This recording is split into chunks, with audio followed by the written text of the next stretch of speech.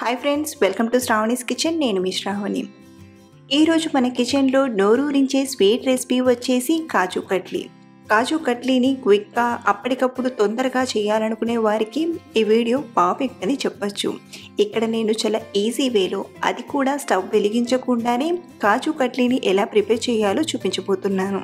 మీరు sweet shop స్టైల్లో కాజు కట్లీ చేయాలంటే మన ఛానల్లో ఆల్రెడీ పోస్ట్ చేశాను. చూడని వారు ఈ వీడియో కింద డిస్క్రిప్షన్లో లింక్ ఉంది ఓసారి చూడండి. ఈ కాజు కట్లీ స్టవ్ వెలిగించకుండా చేసినప్పటికీ కూడా టేస్ట్ అయితే చాలా అంటే చాలా బాగుంది. మెయిన్గా కొత్తగా కాజు కట్లీ చేసేవారైతే ఇలా ట్రై చేస్తే రెసిపీ పాడవకుండా పర్ఫెక్ట్గా చేసేయచ్చు.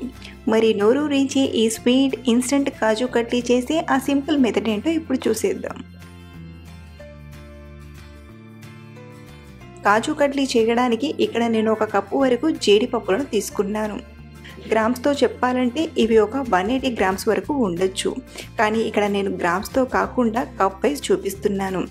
కాబట్టి ఇంట్లో ఉండే ఏదైనా ఒక కప్పును తీసుకొని అన్నీ కూడా ఒకే దాంతో కొలిచి ఈ కాజు కట్లీని ప్రిపేర్ చేయండి. ఇప్పుడు చిన్న మిక్సీ గిన్నెలోకి ఈ ఒక కప్పు కాజులను తీసుకొని మెత్తని పొడిలా గ్రైండ్ చేసుకుందాం. ఒకేసారి గ్రైండ్ చేస్తే కాజు అనేది మెల్ట్ అయిపోయి ఇందులో నుండి ఆయిల్ అనేది రిలీజ్ అవుతుంది. కాబట్టి మధ్య మధ్యలో ఆగుతూ మెత్తని పొడిలా గ్రైండ్ చేయండి. చూడండి ఇలా మెత్తని పొడిలా గ్రైండ్ చేశాక ఇప్పుడు ఒక మిక్సింగ్ బౌల్లోకి తీసుకుందాం. ఇప్పుడు ఇదే మిక్సర్ జార్లోకి మనం ఏ కప్పుతో అయితే జీడిపప్పులు తీసుకున్నామో అదే కప్పుతో ఒక అరకప్పు వరకు పంచదారను కూడా తీసుకోవాలి.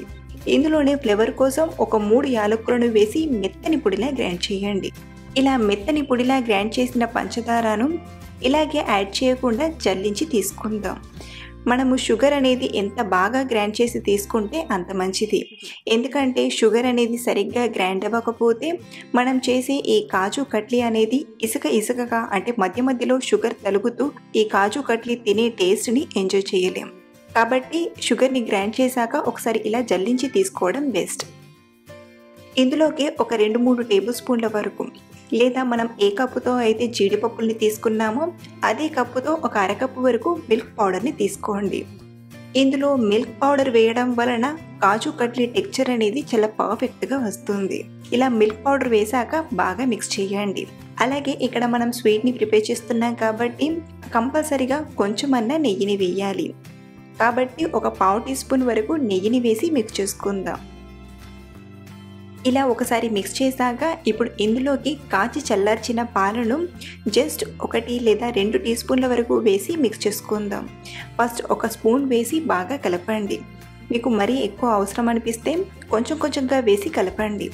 మొత్తానికి ఈ కాజు మిక్స్ అనేది మనం ఎక్కువసేపు కలపకుండా వెంటనే అవసరానికి సరిపడా పాలను వేసి పిండి ముద్ద పాములో కలపాలి. ఈ కాజు మిక్స్ని మనం ఎక్కువసేపు కలిపితే మన అరచేతి వేడికి కాజులోని ఆయిల్ అనేది రిలీజ్ అవుతుంది. కాబట్టి కొంచెం ఫాస్ట్ ఫాస్ట్గా కలపండి.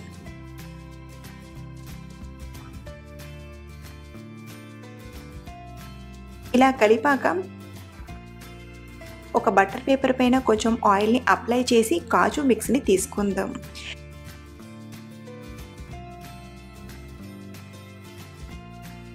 దీనిపైన మళ్ళీ బటర్ పేపర్ పెట్టి రోలర్తో బాగా రోల్ చేయండి.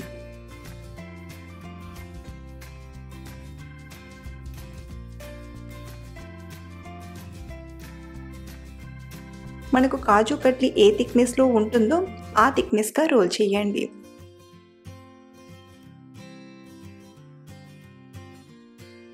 ఇలా రోల్ చేశాక ఇప్పుడు డైమండ్ షేప్లో కట్ చేసుకుందాం. మీరు కావాలంటే ఈ కాజు కట్లీని బర్ఫీ షేప్లో అంటే స్క్వేర్ షేప్లో అయినా కట్ చేయొచ్చు.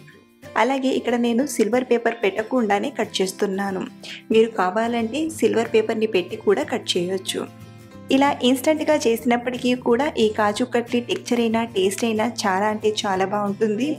మెయిన్గా ఇంట్లో హైజీనిక్గా ప్రిపేర్ చేసుకోవాలి. అలాగే వంట చేయడంలో కొత్తైన వారికైతే ఈ రెసిపీ చాలా అంటే చాలా బాగా హెల్ప్ అవుతుంది. సో ఫ్రెండ్స్ సింపుల్గా క్విక్గా అప్పటికప్పుడు కాజు కట్లీ తినాలనుకుంటే ఇలా ఒకసారి ట్రై చేసి చూడండి. టేస్ట్ అయితే ఎవరికైనా నచ్చుతుంది. అలాగే మీకు sweet shop style kaju katli recipe చూడాలంటే లింక్ అనేది డిస్క్రిప్షన్లో ఉంది. ఒకసారి చూడండి. ఈ రెసిపీ మీకు నచ్చితే ఒక లైక్ చేసి మీ ఫ్రెండ్స్కి షేర్ చేయండి. అలాగే ట్రై చేసి మీకు ఎలా కుదిరిందో మీ ఫీడ్బ్యాక్ని కూడా కింద కామెంట్లో షేర్ చేయండి. మరిన్ని టేస్టీ అండ్ సింపుల్ రెసిపీస్ కోసం చూస్తూ ఉండండి శ్రావణి కిచెన్ ఛానల్ని. Thank you for watching.